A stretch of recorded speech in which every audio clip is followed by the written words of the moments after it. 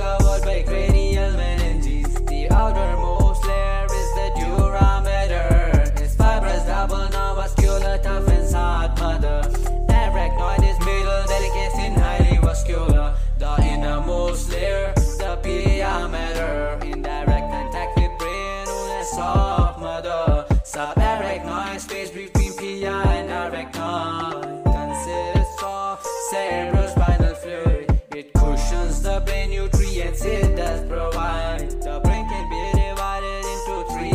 the path, the brain midbrain, and hindbrain at last. Anatomy of the brain is very deep and vast. The forebrain consists of cerebrum, thalamus, and hypothalamus. The cerebrum consists of two cerebral hemispheres connected by a tract of nerve fibers called the corpus callosum.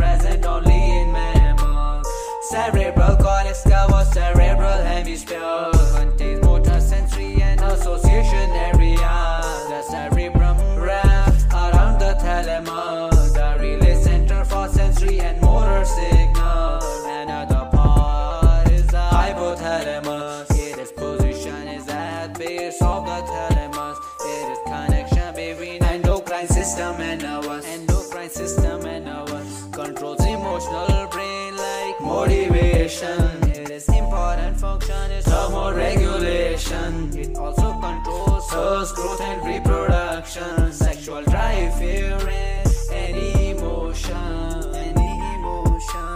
The midbrain consists corpora quadrigemina with two superior colliculi for visual reflexes and two inferior colliculi for auditory reflexes through the midbrain. Cerebral